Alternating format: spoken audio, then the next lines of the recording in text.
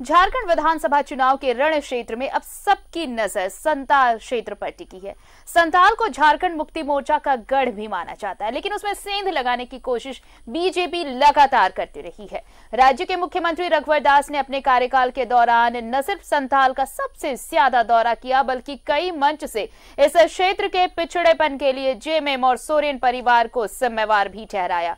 CM Santal को JMM मुक्त करने की बात करते रहे हैं। ऐसे में संताल का चुनाव रघुवर दास और हेमंत सोरेन की राजनीतिक रणनीति का इम्तिहान लेने वाला है।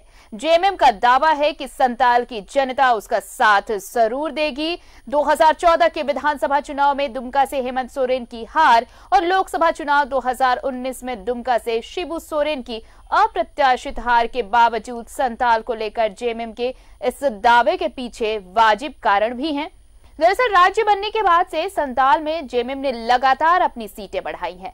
साल 2000 में जेएमएम के पास मात्र छह सीटें थी। ये साल 2005 में 9, साल 2009 में 10 और 2014 में ये संख्या 14 पहुँच गई। संताल के शिकारीपाड़ा बरहेट और लिट्टीपाड़ा ऐसी सीटें हैं जहाँ जेएमएम अब तक अजय साबित रहा है। तो इस बार बीजेपी चाहेगी कि संताल में सेंध लगाए और जो सीटें लगातार कब्जे में रही है जेएमएम के, उन सीटों पर भी बढ़त बनाई जा सके। और लगातार इस दौरा भी होता रहा है सीएम का। और चलते हैं अपने सहयोगी विनीत के पास। इस वक्त हमारे साथ जुड़े हुए हैं। विनीत अब संताल की बारी है। अगर कल के चौथे फ़ेज़ का, के वोटिंग के बाद की हम बात करें तो पाँचवें चरण में संताल सबके लिए अहम होगा। और सबसे अहम तो ये कि बीजेपी संताल में सेंध लगाने की पुरजोर कोशिश में जुटी हुई है। और प्रधानमंत्री भी जब आएँगे तो नौ सीटें उस, उनके रडार पर होंगी जहाँ से वो इन नौ सीटों को साध सके।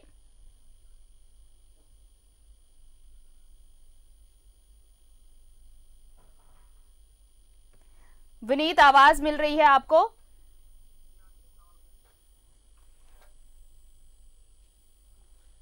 जी, विनीत, मेरा सवाल ये है कि अब जो है, सबकी नज़रें संताल पर टिकी हैं और संताल जिस तरह से जेएमएम का गढ़ माना जाता है अब जो है, बीजेपी ज़रूर इस बार चाहेगी क्योंकि लोकसभा चुनाव से उत्साहित है, जिस तरह के परिणाम मिले, उससे बीजेपी उत्साहित है और चाहेगी कि विधानसभा चुनाव में वो परिणाम दोहराए जा सके, सफलता हासिल कर सके बीजेपी। बिल्कुल आरती, आप लगातार देखें कि जब से सरकार का गठन हुआ है 2014 से ही बीजेपी का पूरा फोकस संथाल के इलाके। में रहा है। लगातार मुख्यमंत्री भी पिछले तीन दिनों से फोर्थ फ़ेज़ के चुनाव प्रचार के दौरान भी संथाल में आकर दुमका में रह रहे हैं और यहाँ के लोगों से, यहाँ के जो कार्यकर्ता हैं बीजेपी के, उनसे एक एक करके फीडबैक ले रहे हैं। ज़मीनी हकीकत क्या है? इन सारी चीज़ों की जानकारी सीएम भी ले रहे हैं। और एक एक करके जो बड़े लीडर हैं, उनका अब दुमका के क्षेत्र में आना, यहाँ पर प्रचार करना और यहाँ के लोगों से मिलना जुलना काफ़ी बढ़ गया है। तो कहीं ना कहीं हम कह सकते हैं कि ये उस कोशिश के रूप में ये कदम है कि जिस तरह से लोकसभा में, संथाल में बीजेपी ने सेंध मारने में कामयाबी हासिल की थी। उसी तर्ज पर विधानसभा चुनाव में भी संथाल क्योंकि काफ़ी अहम है इस दृष्टिकोण से भी, क्योंकि यहाँ की जो सीटें हैं अब तक का जो परिदृश्य रहा है तो जेएमएम का गढ़ माना जाता है संथाल। और यहाँ पर कई ऐसी सीटें हैं जहाँ पर काफ़ी लंबे समय से जेएमएम का कब्जा रहा है। आप देखें कि शिकारीपाड़ा ऐसी सीट है, यहाँ से लगभग चार चार दशक से जेएमएम के ही प्रत्याशी जीतते आ रहे हैं। तो इन सारी चीज़ों के बीच बीजेपी इस रणनीति पर काम कर रही है और शायद यही वजह है ये तीन सीटें ऐसी रही हैं विनीत जहाँ पर अजय रहा है जेएमएम। झारखंड मुक्ति मोर्चा ने किसी को यहाँ पर मौका नहीं दिया है। लेकिन अब जब और यही वजह है शायद कि प्रधानमंत्री नरेंद्र मोदी जब आज यहाँ पहुँचेंगे संताल के लिए जो सीटें हैं संताल पर फोकस रहेगा और उन्होंने भी मतलब जितनी भी पहले की अगर बात कर ले सीएम रघुवर दास जहाँ भी गए उन्होंने संताल पर फोकस किया और प्रधानमंत्री का दौरा भी खास फोकस होगा और हेमंत के इलाके में उनकी सभा होनी है। तो ज़ाहिर तौर पर यह इशारा साफ़ है कि संताल में सेंध लगानी है इस बार।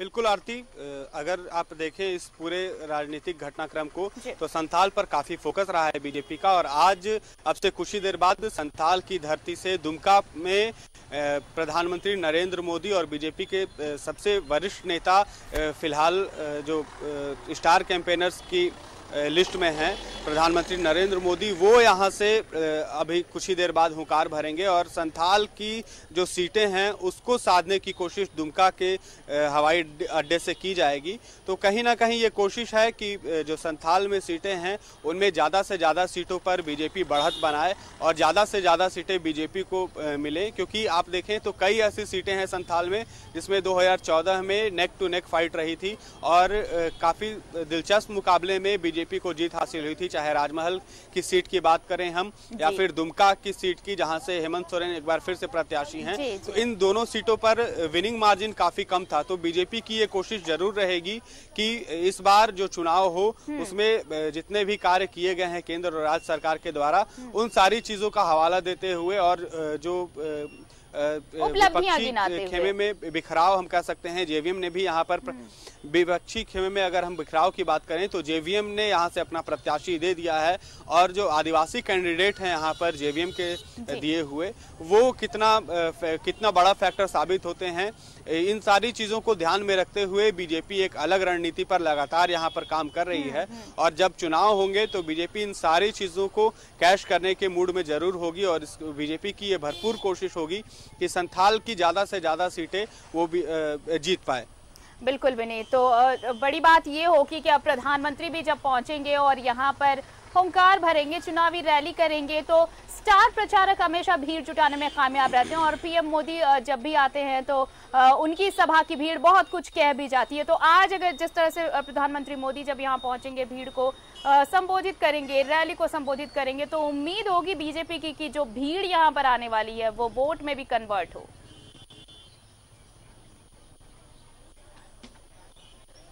बिल्कुल आरती आप लगातार देखें कि जितनी भी सभाएँ हो रही हैं उसमें भीड़ काफ़ी अच्छी उमड़ रही है बीजेपी के द्वारा। चाहे अन्य राजनीतिक दलों की आजसू की बात करें हम जेएमएम की बात करें या कांग्रेस की लेकिन सबसे बड़ा फैक्टर ये होगा और सबसे अहम चीज़ ये होगी कि राजनीतिक दलों की रैली में जो भीड़ उमड़ रही है वो वोटिंग में कित, वोट में कितना तब्दील हो पाता है। अगर ये भीड़ वोटिंग में तब्दील होती है तो बीजेपी के लिए हम कह सकते हैं कि ये काफ़ी सुखद संदेश है और अच्छा संकेत इसलिए भी है क्योंकि अगर ये भीड़ वोट में कन्वर्ट होती है तो जो मार्जिन है पिछले बार से हम्म। वो काफ़ी ज़्यादा हो सकता है और कई ऐसी सीटें हैं जहाँ पर कड़े मुकाबले में बीजेपी को शिकस्त खानी पड़ी थी 2014 में हम्म। तो इन सीटों पर अगर बीजेपी लोगों को अपनी ओर आकर्षित करने में संथाल में कामयाब होती है हम्म। जो भीड़ है उसे वोट में कन्वर्ट करने में सफल हो पाती है बीजेपी तो 2014 से तो देखना होगा कि जिस तरह से तैयारियाँ पहले से की गई थी संताल साधने को लेकर मुख्यमंत्री रघुवर दास द्वारा और बीजेपी के तमाम कार्यकर्ता और समर्थक लगे हुए थे। अब बारी है वोटिंग की। हालाँकि पाँचवें चरण में संताल में वोटिंग होनी है लेकिन दो सीटें हैं जहाँ चौथे चौथे फ़ेज़ में वोटिंग होगी यानी कल वोटिंग होगी। बहरहाल तमाम जानकारी के लिए आपका बहुत बहुत शुक्रिया विनीत।